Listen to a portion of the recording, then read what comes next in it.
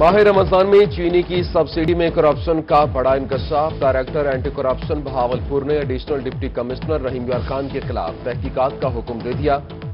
शेख ताहिर की चीनी करप्शन के लीग कॉल पर इंक्वायरी शुरू दो रुकनी तहकीकाती कमेटी भी कायम। Assistant director anti corruption Rao Kaleem और सर्कल ऑफिसर अब्दुल कयूम तहकीकात करेंगे।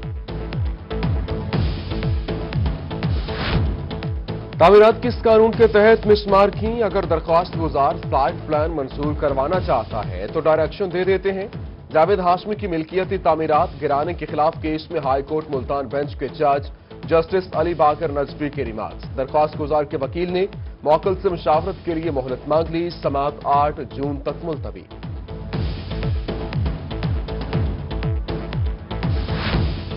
रहीम यार खान के मेगा सिवरेज में फंसी गाड़ी 21 घंटों बाद निकाल ली गई। इंतजामी अफसरान आए न रेस्क्यू अहलकार।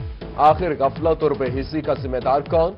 जीप मालिकान ने गाड़ी को अपनी मदद आप के तहत निकाला। शहरियों ने गुजशत रोज गाड़ी में सवार अफराद को अपनी मदद आप के तहत निकाला था।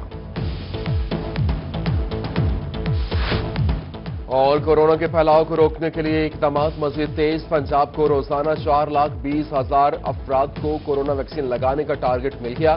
जनूबी पंजाब समेत सूबा भर में छह करोड़ अट्ठाईस लाख से ज़्यादा अफराद को वैक्सीन लगना बाकी। मुजफ्फरगढ़, लोधरा, लैया और राजनपुर में वैक्सीनेशन मुहिम सोस्तरवी का शिकार।